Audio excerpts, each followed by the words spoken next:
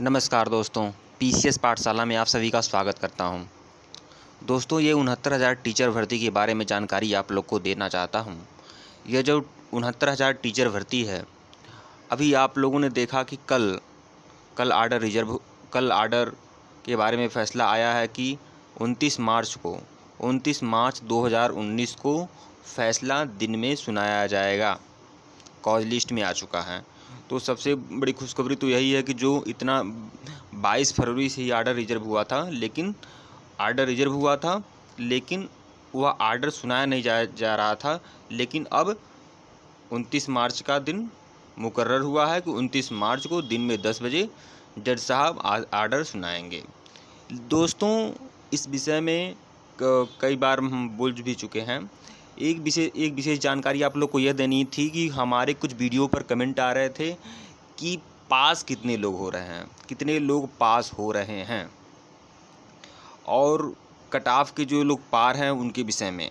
देखिए दोस्तों, एक विशेष जानकारी आप लोग को यह देनी है कि देखिए साठ पैंसठ कटाव पर अगर फैसला आता है, साठ पैंसठ कटाव पर फैसला आता है तो पचासी हज़ार से ज़्यादा लोग पास नहीं होंगे। यहाँ आप स्वयं, आप देख रहे हैं कि शत प्रतिशत सटीक और प्रमाणित दावे हैं। मैं जो बोल रहा हूँ, आप लिख लीजिए। आपके पास पेन होगा, कापी होगी, आप उस पर लिख लीजिए। मैं बोल रहा हूँ, पचासी हज़ार से ज़्यादा बिल्कुल नहीं पास होंगे। मैं पचासी हज़ार, बहुत ज़्यादा बोल रहा हूँ, अस्सी, पचासी।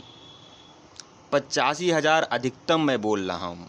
पचासी हज़ार से ज़्यादा बिल्कुल नहीं पास होंगे। बहुत से लोग एक लाख या सवा लाख या डेढ़ लाख की भी बात कर रहे हैं, कितने लोग पास हो जाएँगे। लेकिन नब्बे संतानवे की जो कट ऑफ़ निर्धारित किया गया है गवर्नमेंट द्वारा, उसको अगर माना जाए तो पचासी हज़ार से ज़्यादा पास नहीं होंगे। पचासी हज़ार एक भी नहीं होगा। यह भी बोल दूँ, पचासी हज़ार एक भी नहीं होगा, पचासी हज़ार दो भी नहीं होगा, पचासी हज़ार तीन भी नहीं होगा।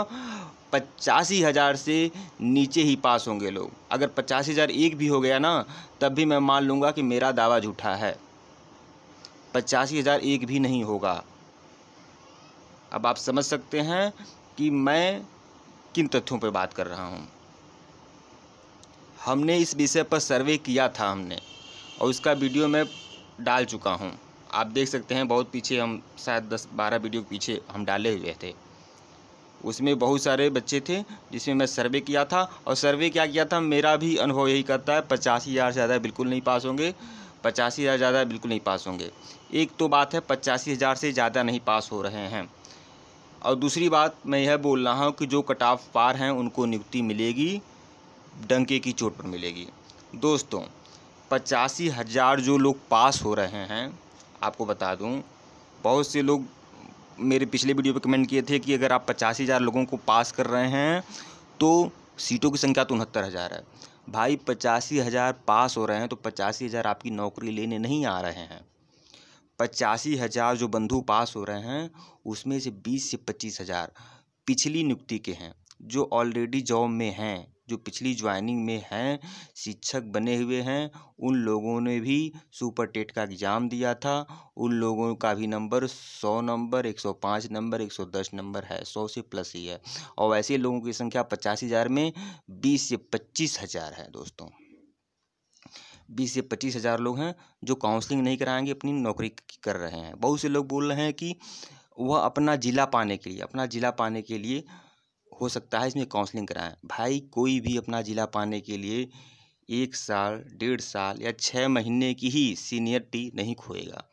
छः महीने की भी सीनियरिटी नहीं खोएगा। अगर कोई अपना ज़िला पाने के लिए अपना अब नया काउंसलिंग करा रहा है तो वह मूर्ख है।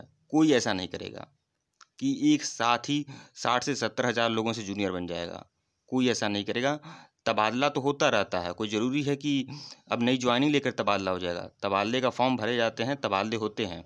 तो बिल्कुल ऐसा नहीं है। इसमें जानिए पचास हज़ार लोग पास हो रहे हैं, जिसमें से बीस से पच्चीस हज़ार पिछले भर्ती के शिक्षक हैं। वह नहीं आने वाले। पचासी हज़ार में से आप पच्चीस हज़ार घटा लीजिए।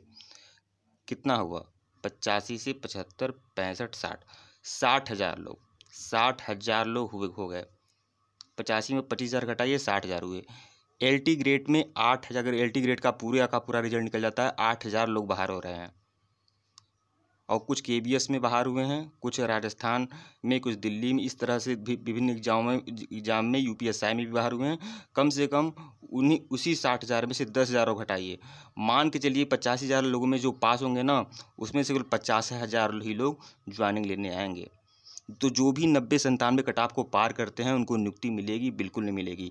और उसके बाद भी, नियुक्ति पाने के बाद भी मैं कह रहा हूँ, हो सकता है यस, जनरल ओबीसी तो नहीं कह सकता हूँ, हो सकता है एस सी एस टी की सीटें रिक्त पड़ जाएँ।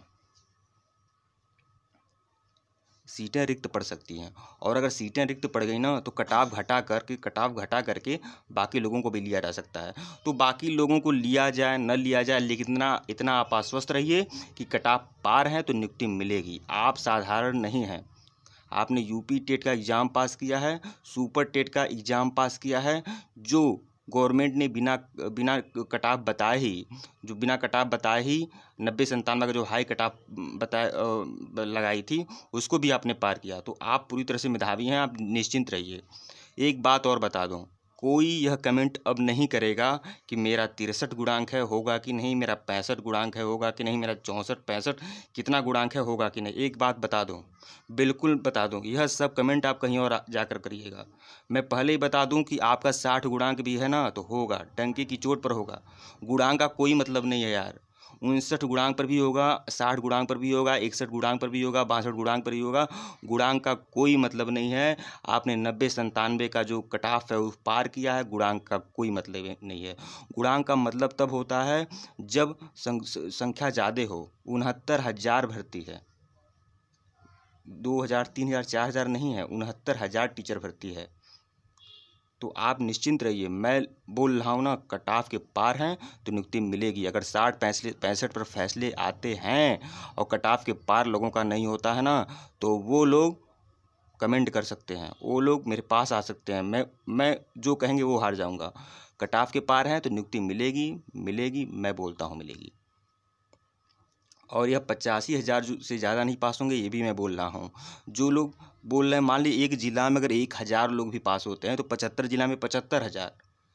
मैं तो पचहत्तर अस्सी मान मान रहा हूँ, पचासी नहीं मान रहा हूँ, लेकिन अधिकतम अधहद से ज़्यादा पास हो गए तो पचासी हज़ार। तो अब दिन दूर नहीं दूर नहीं है। जल्दी जब उनतीस मार्च को फैसला आएगा तो आप स्वयं देख सकते हैं। फैसला आ जाएगा। और उसके बाद जब संशोधित आंसर की अभी हम संशोधित आंसर की के बारे में बता रहे थे, एक या दो नंबर बढ़ेंगे तो बहुत से बंधु नाराज़ हो गए। भाई, जो चार नंबर पाँच नंबर की ख्वाहिश किए हुए हैं, नाराज़ हो गए। अब उन लोगों को खुश करने के लिए यही है कि हम झूठी तसल्ली दे दे, कहते हैं पाँच नंबर बढ़ेंगे। भाई, पाँच नंबर नहीं बढ़ेंगे। अब से बोल रहा हूँ, सुनो, पाँच नंबर नहीं बढ़ेंगे। एक या दो नंबर मुश्किल से बढ़ेगा, फिर वो अपनी बात दोहराता हूँ। मैं आपको अंधकार में नहीं रख सकता। इससे मतलब यूपी टेट में तमाम गड़बड़ियाँ थीं तो एक या दो नंबर मुश्किल से बढ़ा था। इसमें तो कोई गड़बड़ी नहीं थी। कुछ प्रश्नों पर आपत्ति दर्ज कर सकते हैं। एक या दो नंबर ज़्यादा नहीं बढ़ने वाला है। तो दोस्तों, ये बता दिया हूँ, देखिए शत प्रतिशत प्रमाणित दावे हैं, पचासी हज़ार से ज़्यादा बिल्कुल नहीं पास होगा। इसको भी लिख लिए, नोट डाउन कर लीजिएगा। और कट ऑफ़ के पार हैं और साठ पैंसठ फैसला आता है तो बिल्कुल होगा। ये इस पर भी आप निश्चिंत रहिए।